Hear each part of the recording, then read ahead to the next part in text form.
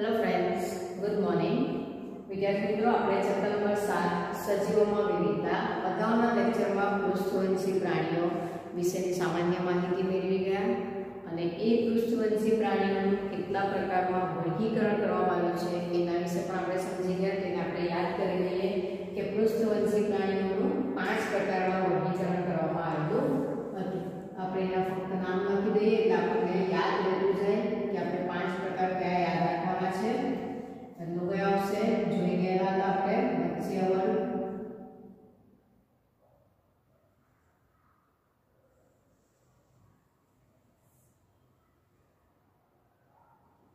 ત્યાર પછી આવશે ક્રમમાં જ લખે એટલે વધારે સારું પડે ઉભયજીવી પ્રાણીઓ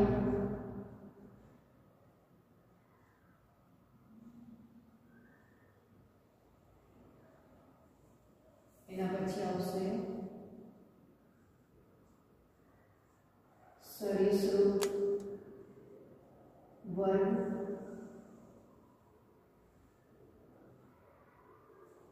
ત્યાર પછી આવશે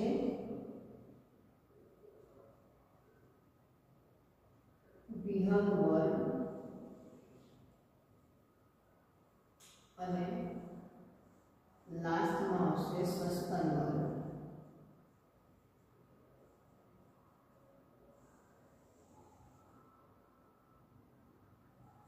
ઓકે એટલે કે પૃષ્ઠવંશી પ્રાણીઓ પાંચ પ્રકારમાં વિભાજિત થયેલા છે.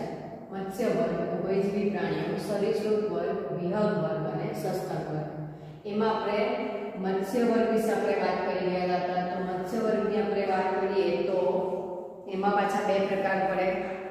અસ્થિ મત્સ્ય અને કાસ્થિ મત્સ્ય એટલે કે કેટલીક માછલીઓનું અંતઃ કંકાલ શામાંથી તૈયાર થયેલું હોય છે. માત્ર અને માત્ર કાષ્ઠીમાંથી જો બનેલું હોય તો એને કાષ્ઠી મત્સ્ય કહેવામાં આવે.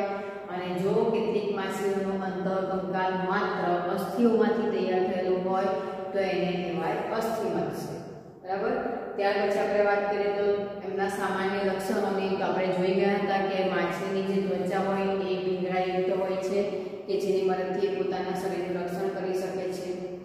એમનું જે શરીર છે એ ચપટા આકારનું, રેખી આકારનું કે ત્રાક આકારનું હોય, શ્વસન માટે એ ઝાલરનો ઉપયોગ કરે છે. એટલે કે ઝાલરોની મદદથી એ પાણીમાં દ્રાવ્ય ઓક્સિજનની મદદથી શ્વસન ક્રિયા કરે છે. હૃદયની વાત કરીએ તો આપણને બધાને ખ્યાલ છે, દ્વિખંડી હૃદય જોવા મળે છે. માછલીઓની અંદર ત્યાર પછી વાત કરીએ તો એ પ્રજનનની ક્રિયા માટે, એટલે કે પાણીમાં તરવા માટે પૂંછડી અને શાનો ઉપયોગ કરે છે મીન પક્ષનો ઉપયોગ કરે છે. તો આપણે એને વિસ્તારપૂર્વક સમજી ગયેલા હતા. હવે આજના લેક્ચરમાં આપણે બીજા વર્ગ ઉપર જવાનું છે. ડિંબાવસ્થા પાણીમાં પસાર કરે છે અને પુખ્તાવસ્થા પાણી અને જમીનમાં પસાર કરે છે. તો એવો જે વર્ગ છે, એને કહેવામાં આવે છે ઉભયજીવી પ્રાણીઓનો વર્ગ. એટલે કે આપણે બીજા કયા વર્ગની વાત કરવાની છે? હવે ઉભયજીવી પ્રાણીઓ. આપણે એ લખી દઈએ કે ઉભયજીવી પ્રાણીઓ કોને કહેવામાં આવે?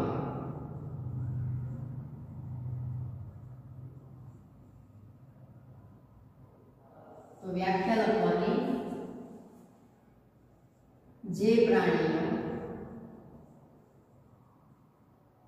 ડિંબાવસ્થા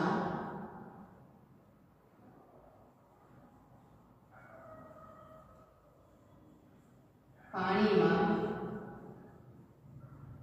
અને પુખ્તાવસ્થા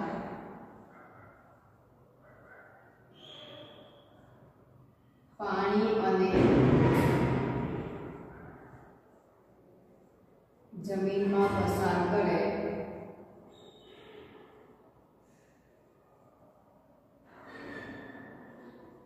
તે પ્રાણીઓને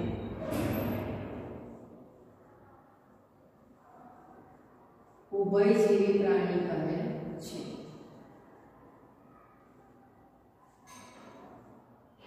એટલે કે આ એવા પ્રાણીનો વર્ગ છે કે જે પોતાની લિંબાવસ્થા એટલે કે જ્યારે એ પોતાના જાતિનો વંશવેલો વધારો કરવાની તૈયારીમાં હોય તો ત્યારે એ જે જન્મ આપવાની જે ક્રિયા થાય છે એ પાણીમાં આપે છે અને ત્યાર પછી જન્મ્યા બાદ જ્યારે પુખ્તાવસ્થામાં આવે છે તો ત્યારે એ પાણી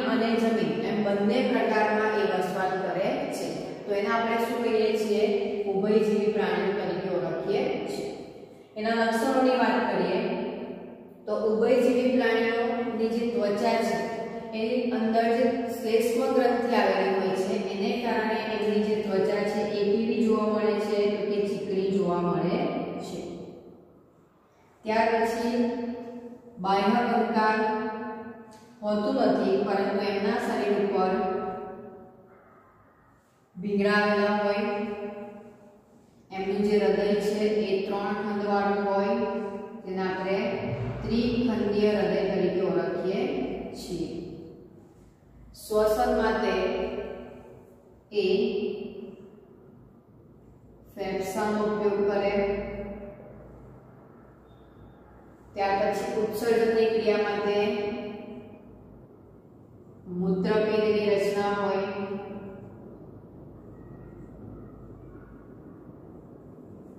એમનો જે વિકાસ, તો કે એ ઈંડા મુક્તા પ્રાણીઓ છે, એટલે કે એમનો વિકાસ ઈંડામાં થતો હોવાથી બાહ્ય ગર્ભ વિકાસ ધરાવે.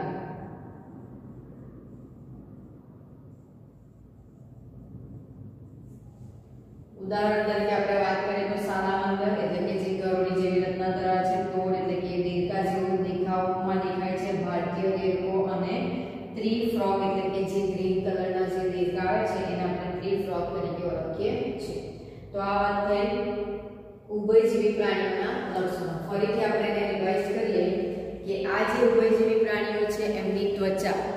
એ શ્લેષ્મ ગ્રંથિ ધરાવતી હોવાથી ચીકણી હોય બાહ્ય કંકાલ હોતું નથી, એટલે કે ભીંગરા તેમજ અન્ય બાહ્ય કંકાલ એમના જોવા મળતા નથી.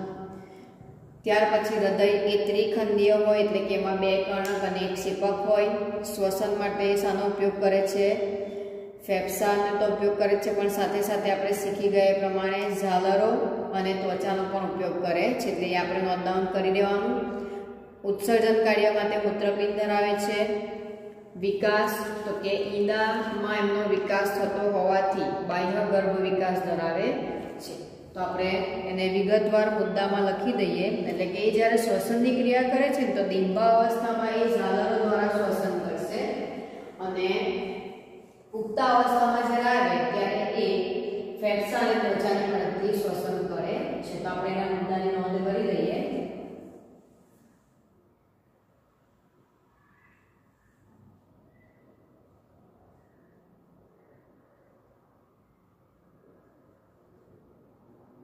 મોસ્ટ ટાઈમની સવાલ છે આ બધા જ ખૂબ જ સરળતાથી યાદ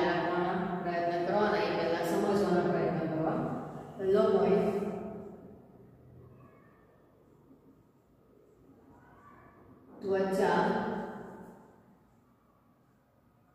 શ્લેષ્મ,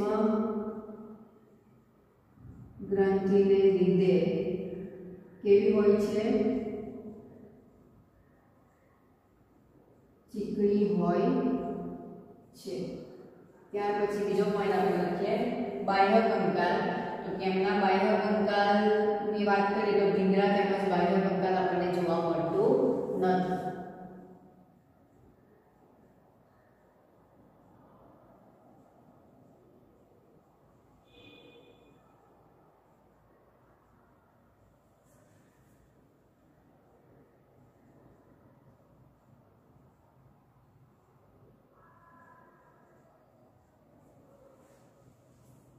હૃદય. તો એમનું જે હૃદય હોય છે, એ કેવું હોય છે? ત્રિખંડીય એટલે કે આ પ્રાણીઓ. ત્રિખંડીય હૃદય ધરાવે છે. તો એ ત્રિખંડી હૃદયમાં શું હોય છે? તો કે બે કર્ણકો એક ક્ષેપક ત્યાર પછી શ્વસન. ડિંબા અવસ્થામાં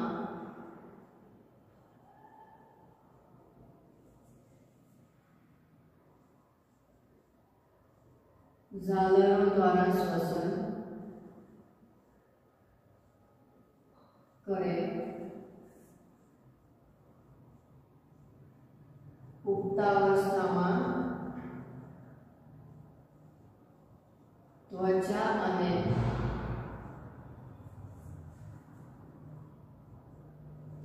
ફેફસા દ્વારા શ્વસન કરે.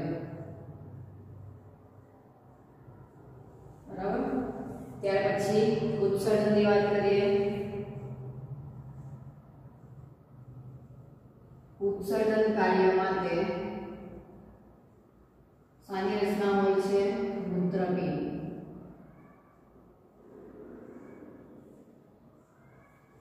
અને એનો વિકાસ એ મોટે ભાગે શામાં થાય છે ઈંડામાં એટલે કે ઈંડામાં વિકાસ થતો હોવાથી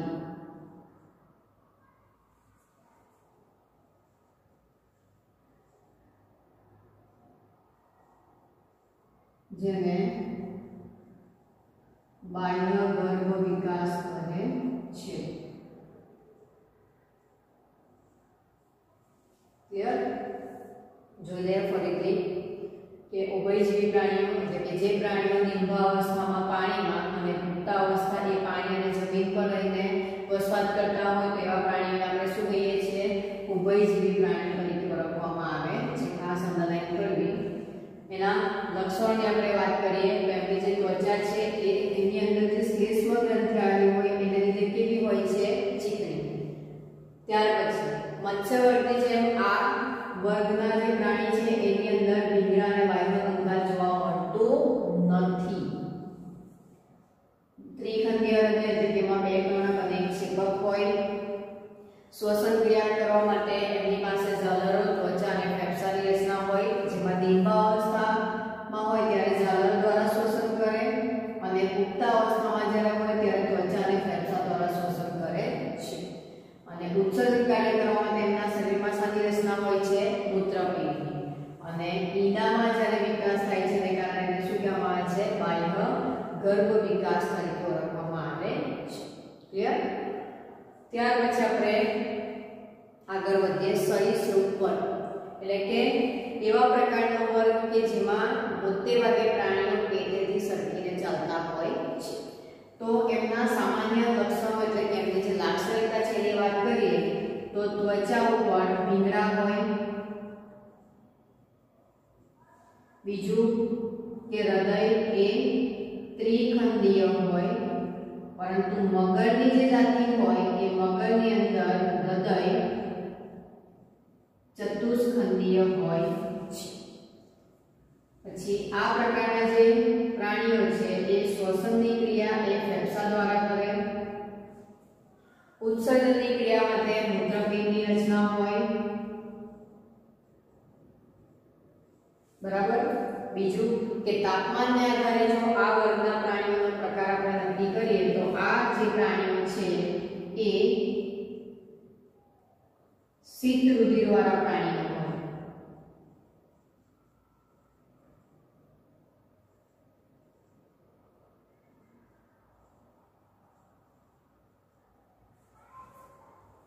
વિકાસની વાત કરીએ, તો એમનો વિકાસ ઈનામાં થાય. બરાબર? બીજું, કે આ વર્ગના જે પ્રાણીઓ છે, એમના જે ઈંડા હોય છે, એ મજબૂત હોય.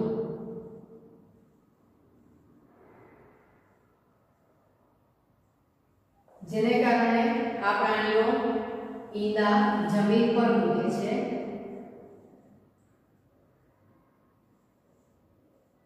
એમને પાણીમાં ઈંડા મૂકવાની જરૂર પડતી નથી અને ઉદાહરણ તરીકે આપણે વાત કરીએ તો એમાં કાચબો છે નાગ છે મગર છે ગરોળી છે સાપ છે વગેરે જેવા જે પેટેથી સરકીને જે ચાલતા પ્રાણીઓ છે એ પ્રાણીઓના વર્ગને આપણે સરીસૃપ વર્ગમાં દાખલ કરેલા છે તો આપણે એને વિગતવાર દર્શાવી લઈએ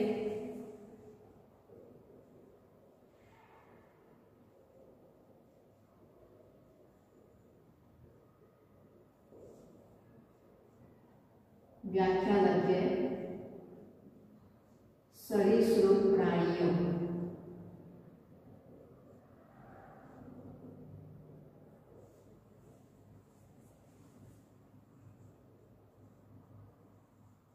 પેટેથી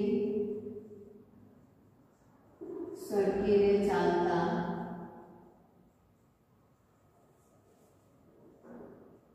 પ્રાણીઓને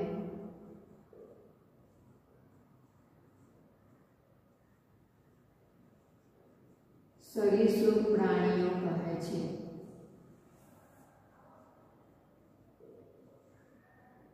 બરાબર? ત્યાર પછી આપણે એમના લક્ષણોની વાત કરીએ.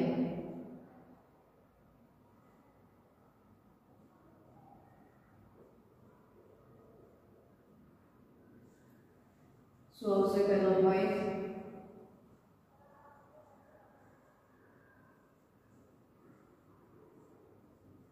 ત્વચા પર ભીંગડા હોય છે આપણને બધાને ખ્યાલ આવી ગયો હશે હવે વિદ્યાર્થી બીજી એક વસ્તુ ખાસ ધ્યાનમાં રાખવી કે પરીક્ષામાં જ્યારે તમે થિયરી લખો છો, તો આ ચિંતા ફક્ત તમારે યાદ રાખવા માટે છે.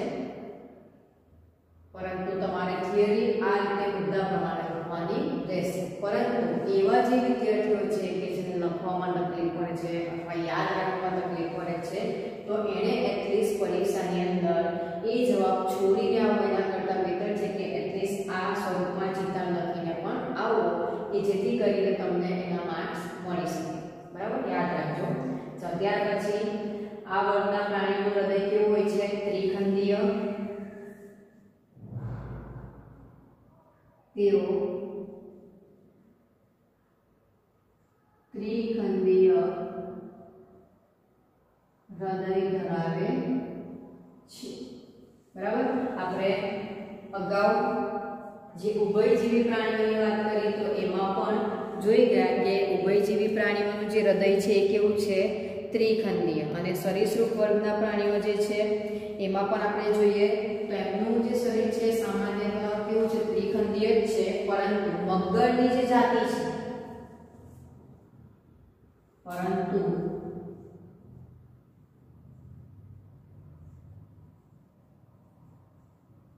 મગરની જાતિઓમાં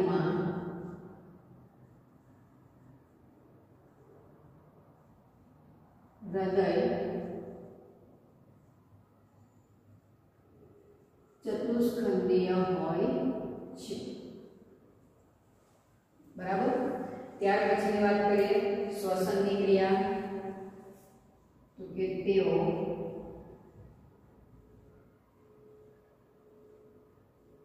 ફેફસા દ્વારા શ્વસન કરે.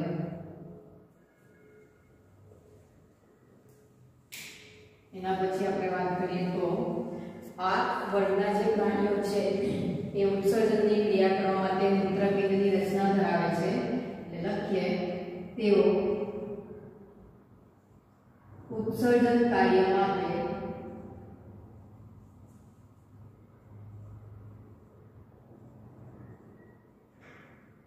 મૂત્રપિંડની રચના ધરાવે છે એના પછી આપણે નેક્સ્ટ પોઈન્ટ સમજી ગયા તાપમાનને આધારે એના પ્રકારની વાત કરીએ તો આ વર્ગના પ્રાણીઓ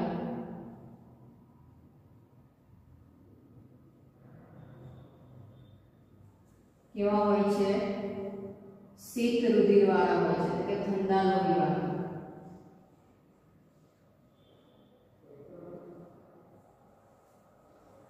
ત્યાર પછી આ વર્ગના જે પ્રાણીઓ છે, એમનો વિકાસ મોટે ભાગે શામાં થાય છે ઈંડામાં એટલે કે આ પ્રાણીઓનો વિકાસ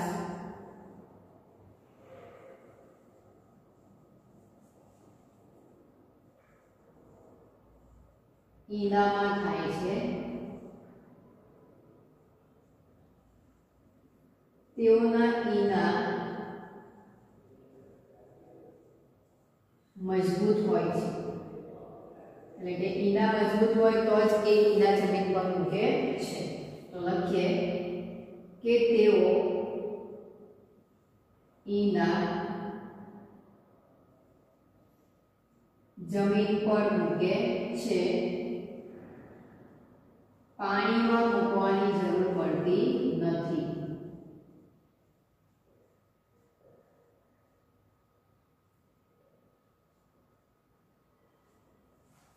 અને લાસ્ટમાં આપણે લખી દઈએ ઉદાહરણ તરીકે શું આવશે કાચબો નાગ મગર ગરોળી અને ઓકે તો આ થયું સરીસૃપ વર્ગ જોઈ લઈએ અંડરલાઈન કરતા કરતા. સરીસૃપ પ્રાણીઓ એટલે કે જે પ્રાણીઓ ખેતેથી સરકીને ચાલતા હોય, એ પ્રાણીઓને શું કહેવામાં આવે છે? સરીસૃપ પ્રાણીઓ અને એ વર્ગને શું કહેવામાં આવે છે? સરીસૃપ વર્ગ તરીકે ઓળખવામાં આવે છે. ત્યાર પછી આપણે એના લક્ષણો સમજી ગયા. તો ત્વચા ઉપર શું આવેલું હોય છે? ભીંગરા આવેલા હોય છે. એટલે કે એ ભીંગરાની મદદથી એમની ચામડીનું રક્ષણ થાય ત્યાર પછી બીજો પોઈન્ટ છે, એમનું હૃદય કેવું હોય છે? ત્રિખંડીય, એટલે કે ત્રણ ખંડોમાં વિભાજિત થયેલું હોય. પણ મગરની આપણે વાત કરીએ, તો મગરની અંદર જે હૃદય આવેલું હોય છે, એ આપણી જેમ ચાર ખંડોમાં વહેંચાયેલું હોય છે. સરીસૃપ પ્રાણીઓ જે છે, એ આપણી જેમ ફેફસા દ્વારા શ્વસનની ક્રિયા કરે છે. ઉત્સર્જન કાર્ય માટે સાની રચના ધરાવે છે, એટલે કે મૂત્રપિંડ આવેલા હોય છે, કે જેની મદદથી એ ઉત્સર્જનની ક્રિયા કરી શકે આ વર્ગમાં જે આવતા પ્રાણીઓ છે, એટલે કે આપણે ઉદાહરણમાં જેટલા પણ લખેલા છે, આ બધા શીત રુધિરવાળા પ્રાણીઓ, એટલે કે જેઓનું લોહી કેવું હોય છે ઠંડુ હોય છે. આ પ્રાણીઓનો વિકાસ સંપૂર્ણપણે સમાન થાય છે ઈંડામાં. અને આ પ્રાણીઓ ઈંડા એ ક્યાં મૂકે છે? તો કે જમીન પર એનું કારણ છે કે આ